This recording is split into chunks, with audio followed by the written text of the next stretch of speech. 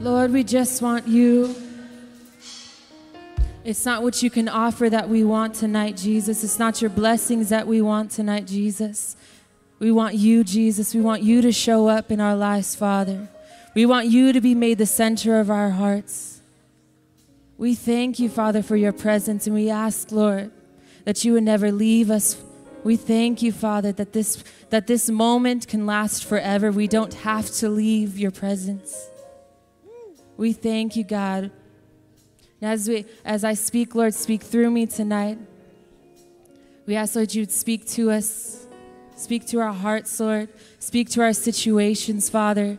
You know everyone's heart in here today, Father. In the name of Jesus, we pray. Amen. Hello, everybody. Worship team, you guys could stay up here. You guys are staying up here. Um, you guys are welcome to sit. You guys could keep playing. Let's keep playing the music. But you guys are welcome to sit where you are or go back to your seats. I'm going to speak for just 10 minutes and we're going to continue to worship. Um, but before I speak, I know a lot of you guys have been asking me where I've been. Um, almost every time I see someone, that's the first question they ask me. so just to clear that up, I've been here. I've not. I didn't move somewhere else. I've been here I strained my vocal cords like two months ago, so I wasn't able to sing.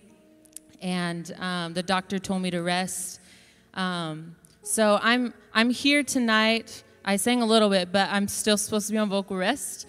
Um, but tonight I want to share something that God put on my heart for us to, to learn about, and it's about God's presence. So I'm going to talk about just a few things you need to know about God's presence. And the first thing you need to know is that you were created to live in God's presence. And just like this song is saying, we don't have to leave His presence. It doesn't just last for a moment. It's not just in a song. It's not just in this moment. It's not just in it's it's not just in what he gives. It's not it's not that. It's it's forever. You're created to live in his presence. And we know that because when we look at God's original design for us, He created Adam to live in the Garden of Eden. And in other translations, it's the Garden of the Lord or His presence. So we were created to live in that place, right?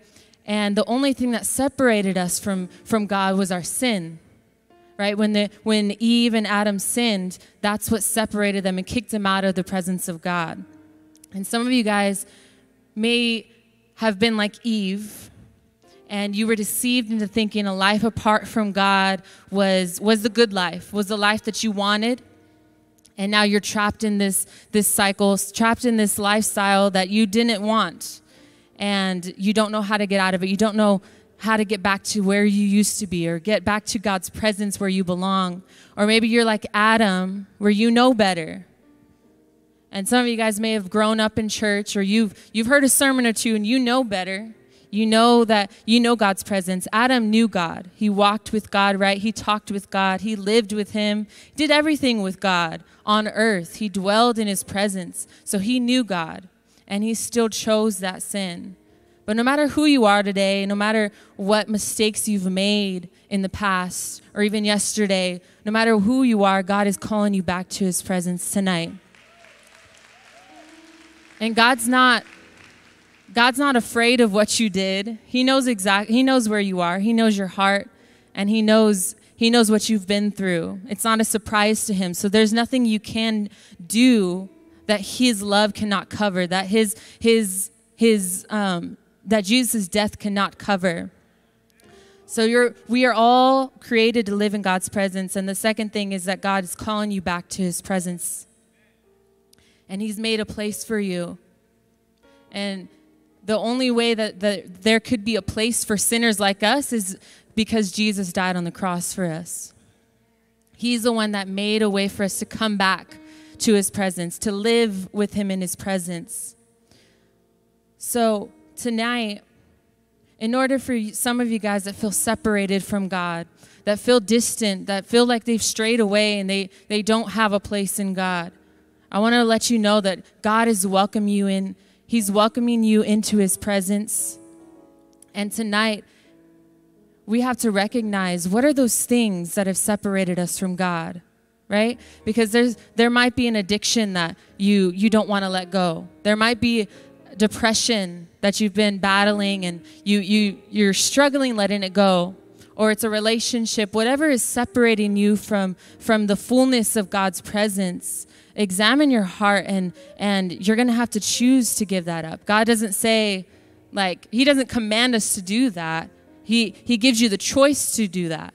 So today um, as we're talking about God's presence and what separates us from His presence, I want to just talk about a couple things, a couple examples of when someone had to let go of what was separating them from God, what um, they had to sacrifice in order to, to live for God. And when we look in the Bible, we look at Adam, uh, not sorry, Abraham. I keep calling him Adam. Um, Abraham is one of the first acts of worship we see in Genesis where God asked him to sacrifice his son. Do you guys know that story?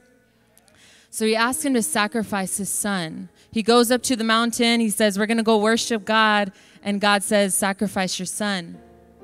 And why do you think, why does God ask him to sacrifice his son out of all things? I'm sure he had I'm sure he was he had he was wealthy. He had some other things that were valuable that he could have sacrificed, but he asked him to sacrifice his son. And when I was thinking about that, God was just reminding me like you cannot sacrifice something that is not of value to you. Otherwise, it's not a sacrifice. It's not true worship unless it costs you something. So I can be like, okay, well, let me find something to sacrifice to God. Um, I have this. I have this piece of paper. I'll give. I, I'll come to the altar with this. That's not going to mean anything to God because it means nothing to me. I, this means nothing to me. This is just trash. But I'm not going to give what's in here. Like this is what's important to me. What's in this chest? i I'm keeping this. This is too important to just sacrifice to God. And when we live like that, when we're like, okay, I'm going to keep this, but I'll give you the trash. I'll give you what I don't want. I don't want the depression. No, I don't want the, the suicidal thoughts. I don't want that, but I do want this relationship. Or I don't want I don't want the the constant anxiety. I don't want the the bad thoughts. I don't want the negativity. I don't want that, but I'm not going to give you what's in here. This is precious to me and I can't let this go. And that's the thing that is separating you from God's presence, right? It's not just, it's not the things you're willing to give up, it's the things you're not willing to give up that separates you from God's presence.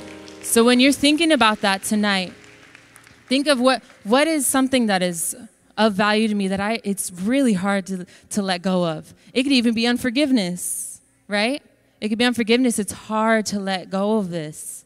Like I, I remember there was a time where I had unforgiveness towards someone and I, I thought I forgave them because I said, I forgive you, like I in my head, and I prayed, and I'm like, okay, I forgave them. But every time I went to the Word of God, uh, and maybe you guys can relate to this, but I would say, like, oh yeah, that's so good. This person needs to hear that. And so every time I went to the Word, it was always about the other person. It was never about me getting what I needed. And that's just an example of how that sin that thing I was holding on to that I couldn't let go of was getting in between me and God. It was separating me from God. And there was one time I did that, and God convicted me. He's like, If you forgave them, why haven't you let them go? And I was like, Well, I thought I, I did. I, that's what forgiving means, right? He's like, No, you have to let them go. Because if you don't let them go and you keep repeating these things that are that they did or they said and how they need to hear this, then as long as you keep on doing that, that stands in between me, you you hearing from me for you. So I, I remember that day, I, I just let it go. I was like, okay, God, I finally let them go. I cried and everything. Um, and I, I forgave that person. And I was like, God, I, I'm sorry that I let that person come between me and you, our intimacy. Like your your devotional time with God, your worship time with God is your intimate time with God. Don't let anything get in the way of that, right? And we had to look at it like that. Unforgiveness is not something I want, but it was it was something that I was holding on to. So we just got to examine what is what is in this box for you. What is what is something that you cannot give up? Because that's the one thing that you God is asking you to give right? He's not going to ask you to give something you're willing to give up. He's asking you to give this. So we looked at Abraham, but let's look at David. And um, it says in 2 Samuel 24 24, it says, But the king replied to Araunah, I'm going to guess that's how you say it says, No, I insist on buying it, David said. For I will not present burnt offerings to the Lord my God that cost me nothing. So David paid him 50 pieces of silver for the threshing floor and the oxen. So if your if your offering doesn't cost you anything and it means nothing to you, it's not acceptable to God. God's not God's not fooled by this. He's not going to be fooled to think this is what you actually are willing to sacrifice. He's not going to be fooled. He knows your heart, right? And he wants that over the over your your your sacrifice. He wants your obedience, he wants your heart.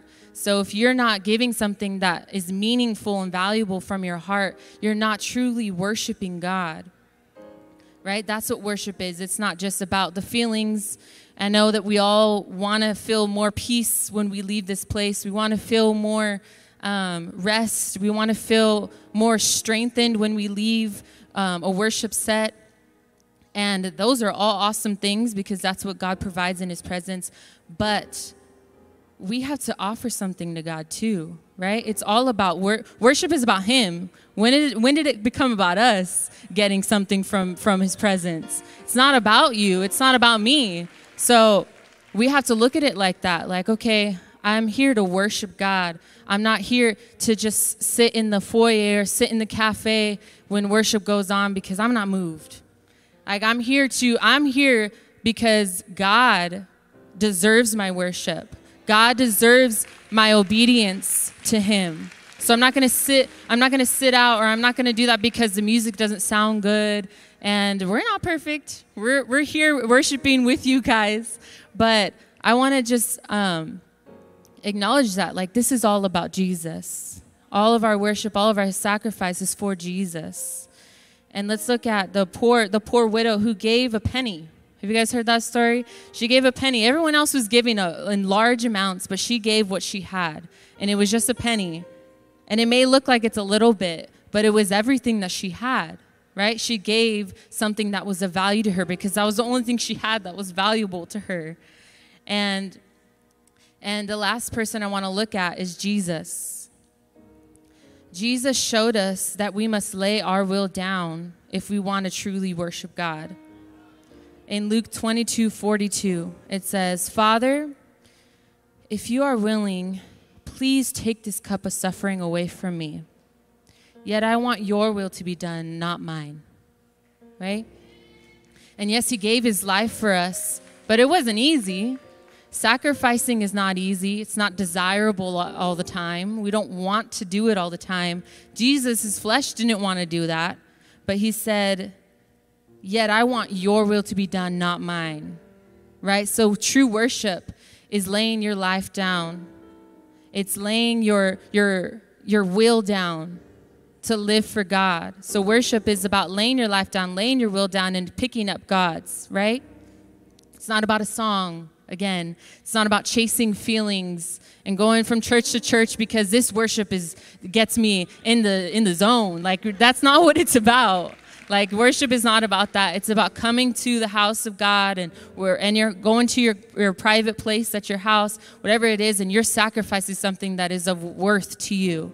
It's laying your life down and saying, God, I, I lay my lifestyle down, I lay my will down, and I, I want to live for you. I want to live like you, right? So it is a lifestyle. And so we see this, this pattern in all of their worship, in, in Abraham's worship, in David's worship, in the, the widow's worship, in Jesus' worship, they gave something that cost them. So I want to ask you today if you say you love God and you, you love to worship Him, are you willing to sacrifice what, it mean, what is meaningful to you? Are you willing to sacrifice everything for Him? Are you willing to give up everything for Him? Because and he's not asking you anything that's too hard. He's not asking you for anything that he hasn't already done for you. He sacrificed his life, he gave his only son so that you can live with him. He made this possible by giving everything. So all the least we could do, the response that we can give him is laying down our lives in exchange for him, right? So he's only asking us to do exactly what he's he's told them to do. In Romans 12, 1 through 2, it says, So then, my friends, because God's because of God's great mercy to us, I appeal to you, offer yourselves. Offer yourself.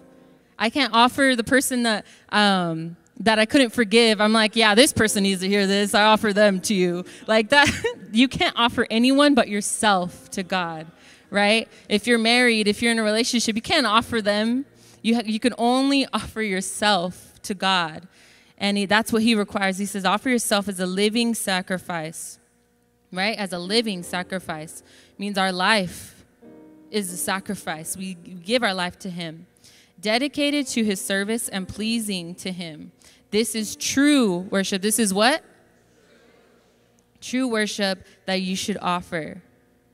So, this is what God is asking you today.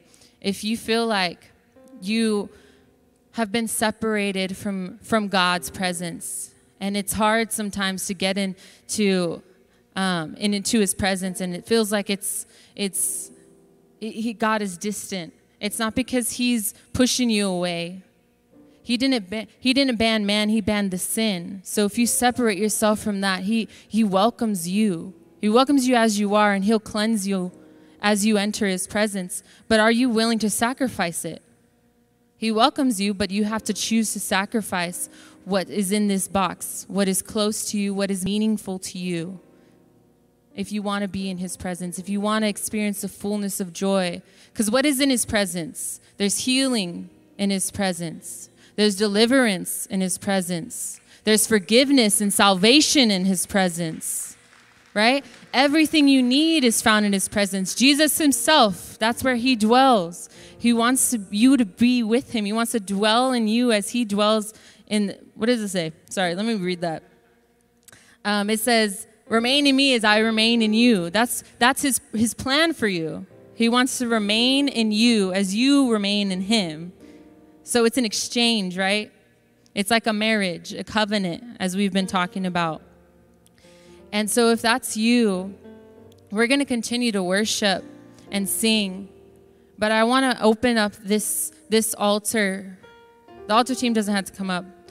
But I want to open up this altar for those that that are that are hurting and feel like they've been distant from God and they need to lay something down that is of value to them. If you are ready to lay that down, I want to invite you guys up to the altar to do that because this is your space, this is your time. And it's no coincidence that you came tonight if this is your first time that, that we're talking about this. And it, it seems intense. It seems intense to lay down everything, but there's so there's so much more that God has for you. I know it's hard. I know it's hard to let that go. I know I know it satisfies you. I know that it feels good and I know it's going to hurt to forgive that person. But it's worth it. What God has for you is so much better. So holding on to it is not worth it.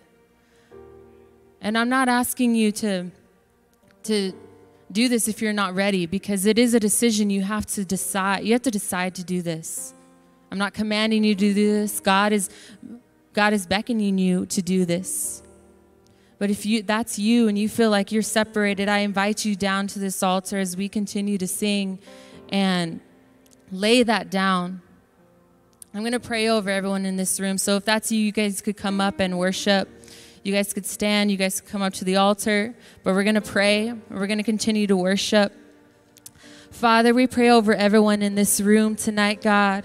I pray, Lord, right now that they would surrender their hearts to you tonight. They would surrender what is of value to you tonight. I pray, Lord, that you would come in this room. I pray, Lord, that you would break every chain in this room tonight. Break all the hindrance that is blocking them from, from you, from your presence. We thank you, God, that there would be no separation between you and us, Father. We thank you, Father, that there is a, there, there is fullness of joy. There is fullness in your presence, Father. So we ask, Lord, that you would come, Father, and cleanse our hearts of anything that is separating us from you and bring us back home. We thank you, Holy Spirit. Thank you, Jesus.